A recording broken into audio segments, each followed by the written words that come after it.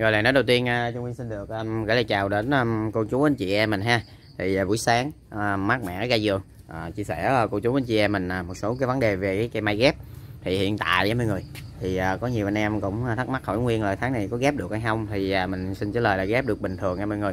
Thì uh, hạn chế thôi, hạn chế ghép những cái tháng ngày gần Tết thôi tại vì khi mà uh, tầm khoảng tháng uh, 10, 11, 12 gì đó thì uh, khi mà các bạn mà lấy cái bo ghép á thì uh, nó dễ có phân hóa mầm qua. Tại vì khi mà ghép uh, một cái à, bo như thế này là cô chú anh chị em mình thì ví dụ như cỡ chừng những tháng mà 11 12 âm lịch á thì khi mà cắt cái bo ra rồi chúng ta ghép vô á thì nó sẽ tới ngày tới tháng là nó sẽ đi cái um, nó đi cái uh, mà cái nụ à mọi người. Thì uh, nếu mà các bạn muốn mà test cái mặt bông luôn thì nên ghép những cái cái ngày cuối năm vẫn được bình thường. Khi mà nó ra rồi có thể uh, nếu mà nó ra bông rồi có thể bấm bỏ thì à, hạn chế là vậy thôi mọi người. Chứ thật sự ghép thì quanh năm ha. À, ghép à, sớm thì à, chúng ta chơi sớm thôi. Thì đây là nguyên cũng có một cây mai mà ghép bổ sung nè ba bo nè mọi người. Cây mai này cây mai dáng đứng đứng nè yeah, dạ, ba bo rất mập luôn à. đó. thì à, cái này mình mới vừa vô dây à, mình à, chịu lại đó mọi người. Để à, nó mới làm nó lùm cắt bỏ những cái nhánh mà sát cái cái cái cái cái cái cái cái cái, cái, cái thân đó nè. Rồi để à, múa ra. Thì à, đang à, nuôi. Thì à, khách cái thằng này ghép trước nè. Bây giờ nó phát thì giờ mình vô dây mình à, chặn lại rồi để nuôi mấy thằng khác. Để làm một cái dáng nó quái quái là mọi người. Nha quay cho mọi người xem. Thì hôm nay chủ đề 29 ngày hôm nay là nguyên có một cái cây mai bên đây nè. Nói chung cây nào nó cũng đẹp đẹp đó mọi người. Có một cái cây mai bên đây là mọi người. Thì nguyên sẽ tiến hành quay để chia sẻ với người nó. Thì cái này ghép cái dòng siêu bông. Thì mình ghép à, mới vừa hồi hôm qua thì nó cũng ờ, còn những cái à, mà nhánh chân nè thì nguyên nói từ từ phân tích từ từ để cho cô chú anh chị em mình xem mà cũng như có thể là tham khảo ha. Thì à, nếu mà có vấn đề mà khi mà nó có ra những cái nhánh như này nè là nguyên mới mới cắt bỏ nè mọi người.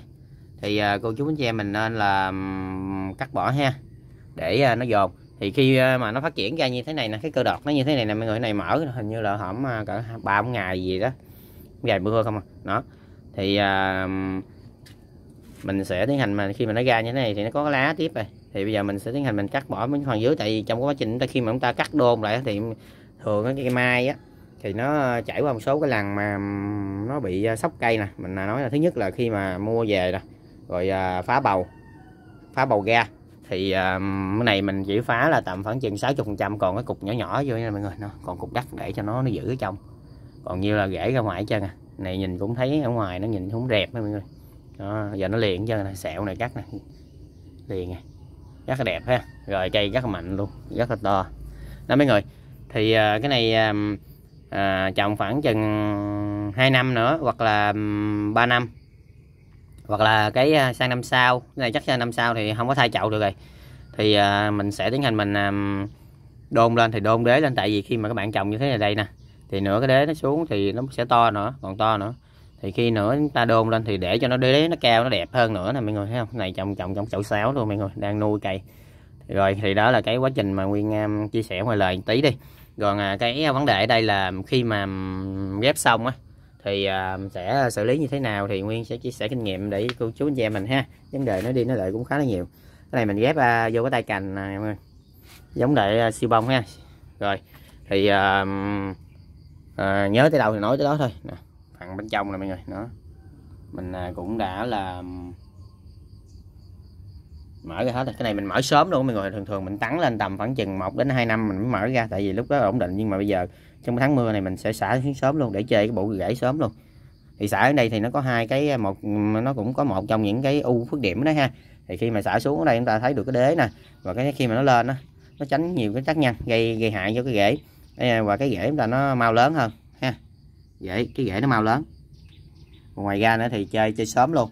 Đó nhưng mà cái, ờ, cái điều mà đó là có thể là nó bị sốc cây tại vì xả xuống sớm thì nó có thể là nó phần trên đây nếu mà nó không có tiếp được cái uh, cái rễ sớm á, thì nó sẽ làm cho cái bộ rễ chúng ta nó um, nó bị uh, mà dễ dễ nó bị hư.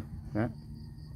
rồi mọi người thì uh, trở lại buổi cái buổi uh, mà chủ đề chính thì uh, hôm nay thì chia sẻ mọi người đây nè đây là những cái mai mà nguyên đã ghép ra.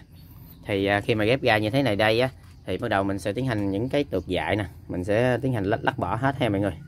Nên à, cắt bỏ bớt những cái tược dại. Đó. Thì à, để tập trung nuôi. Thì ở đây mở bọc á thì những cái tược nào mà nó phát triển sớm á thì mình mở ra trước. Còn những cái tiệc mà nó thấy nó nè mọi người thấy không? Nó hơi còn đỏ đỏ, đỏ nè nó ra đó mọi người. Thì này tầm khoảng một hai ngày nữa mình sẽ mở và cái quá trình mở thì nếu mà muốn tốt nhất thì chúng ta nên làm, sẽ tiến hành chúng ta mở cái dây này ra nè và để cái bọc như thế, để cho nó thích nghi từ à, 1 đến 2 ngày. Hoặc là nếu mà chắc thì để 1 đến 2 ngày, các bạn chưa có kinh nghiệm nhiều á, thì để 1 đến 2 ngày cái đó rút ra thì lúc đó không khí đầu nó hòa vô rồi và nó vẫn còn cái bọc bao ngoài. Thì cây thích nghi dần dần nó ít bị sốc hơn. Còn đối với nguyên thì sẽ tiến hành mở vào buổi chiều, mở ra luôn, nó. Thì cái này cũng mở được nè, mọi người nói thì bây giờ nó thích nghi rồi thì sau khi mà nó quá trình nó thích nghi thế này thì những cái tường dại thì nên cắt bỏ hết ha. Không không có để nha mọi người. Đó. Còn à, những cái mà là mọi người cái này là chưa có mở là các mọi người biết như sao không? Đây nè nó ra rồi nè. Cây này nó ra mạnh luôn rồi chứ nhưng mà cái phần bên đây nè. Cái phần cái hàng nhỏ bên đây nè. Mọi nghĩ là nó dính đây đó mọi người. Và tại nó không có bung đọt nè. Chắc nó cũng bung bung rồi đó. Nhưng mà các mọi người biết biết sao không? Tại vì nó cái cái nụ nó nè nó lúc nó ghép đâu có đâu có nụ, đâu có bự gì đâu, bây giờ nó nuôi nụ cho bá luôn rồi. Nhưng mà nó chưa có xì cái đọt ra, nên nguyên là chưa có mở ra, sợ nó bị ảnh hưởng đến thằng này thôi. Còn cái thằng bên đây thì quá trời luôn, mọi người, thằng này đây là dư rồi. Mở ra, nhưng mà à, nếu mà một trong, nếu mà chúng ta ghép nhiều mà để mà trong trong bọc riêng á, thì nên là xả ra để như thế này đây, để mà cho nó cái thằng bên đây nó kéo ra nó mạnh đi, rồi mới hả, mở ra ha mọi người. Còn đây nè mọi người, đó thì nó xì ra. Ấm gài mở ra mát thì nó xì xì ra nè. Đó. Thì cái này là nguyên à, để đây cả chừng hai một, hai ngày nữa thì để cho nó thích nghi nè mọi người. Nó ra nụ luôn rồi nè. Khi à, ghép à, mà nó còn nhỏ quá chúng ta đâu có biết cái nụ kim với cái nụ là cái cái nụ mà cái cái mắt mắt, cái mắt lá mà nó nó nó có thành thành cái nụ đâu, hoặc là cái nó ra cái cái chồi đâu. Nên khi ghép vô thì thường thường nó có thể ra. Thì ghép những cái ngày cuối năm thì nó dễ làm hình thành nụ hơn nó không có chịu đi đọt nữa mọi người. Thì khi mà tại vì ghép trong cái giai đoạn đầu á, thì cái ờ, bản chất sinh lý của cây là nó sẽ ra cái cái cái tược và nó đi tược để nó phát triển cành nhánh. Còn ví dụ như ghép những ngày cuối năm cái nó không ra tược mà nó đi nó thường thường là nó đi cái nụ không à. Là mọi người. Thường thường nó sẽ đi cái nụ. Cho nên là anh em hạn chế ờ, ghép vào cái uh, cái à, mà phần cuối năm thôi còn muốn mà muốn chơi bông chơi chơi tết thì cứ hoặc là test cái mặt bông thì cứ ghép bình thường ha mọi người. Thì sau khi mà nó ra bông xong thì chúng ta cắt bỏ cắt bỏ xong thì nó cũng dẫn đi tuột thôi. Nó nhưng mà thì ghép mai thì à, có thể là chúng ta ghép quanh năm. Đối với cây mai lên khi mà trồng ví dụ như tháng 1, 11, 12 âm lịch á rồi à, cỡ chừng hai ba tháng thì cây nó mạnh này các bạn muốn tùy ý các bạn ghép thì các bạn cứ ghép vô thôi ha. Thì cái đó là cái chuyện bình thường đâu có gì đâu. Thì đó có vấn đề đó nguyên chia sẻ cho cô chú anh chị mình tí thôi còn vấn đề à, về chăm sóc thì nguyên có đã nói nhiều rồi. Đối với những cây mai như thế này nha. Đối với cây mai như thế này ra như thế này đây thì một cỡ một gan tay nguyên một cây đọt lá đầu tiên thì chúng ta cho ăn được rồi mọi người. Và nếu mà như thế này đây nhưng mà không cho ăn gì trơn thì nó đâu có lấy nó lấy gì đâu mà nó nó à, bổ sung cho cái à, mà để nó tái thiết cái lại cái cành nhánh đó mọi người. Thì à, mình phải bổ sung để nó xây. Nếu muốn xây một cái nhà thì chúng ta phải đưa gạch vô thì à, phân nó cũng giống như những cái viên gạch vậy mọi người. Thì khi đưa vô thì bắt đầu nó sẽ tiến hành nó có cái chắc nó rồi phân là nó chắc. Thì nó sẽ tiến hành nó đưa lên cây và nó biến dưỡng và nó cũng như là nó làm à, cấu tạo tế bào nè để nó phát triển thêm. Rồi nó lớn ra, đó. Thì phải đưa vô cho nó ăn uống thì nó mới phát triển. Thì ở đây thì mình cũng khuyên cô chú anh chị em mình là nên là tưới những cái dòng hữu cơ kết hợp với vô cơ hoặc là có những cái dòng hữu cơ mà bây giờ anh em cái mấy công ty người ta phối rất là hay mấy người phối thằng vô cơ vô vẫn được bình thường giống như là ba hai hoặc là à, năm một một gì đó mấy người giống như Alaska và những cái dòng mà dưỡng rễ luôn. Thì cái này vừa có hữu cơ vừa có vô cơ nhưng mà đi ở, ở đó với những cái mai này thì chúng ta không có được. Tưới những cái liều mà nó mạnh nặng giống như những những cái mai mà trưởng thành ta đi cái liều lọt hơn tí ha. Để mà nó chăm sóc thì ví dụ như à, thường thường tưới đầm tầm khoảng 2 đến 3 gram cho một lít nước. Đối với cây mai trưởng thành thì đối với cây mai này thì chúng ta tưới tầm khoảng chừng 0,5 gram. Đối với những cái là dạng phân mà cái dạng à, mà cái dạng à, bột hoặc là những cái dạng mà viên. Còn khi mà những, những cái dạng phân mà nó mang cái tính chất là nước thì chúng ta tầm khoảng chừng 0,5 0,5 c cho một lít nước nó giảm cái liều xuống để mà nó tại vì trong cái này thứ nhất là nó mới vừa trải qua một cái quá trình à, sốc.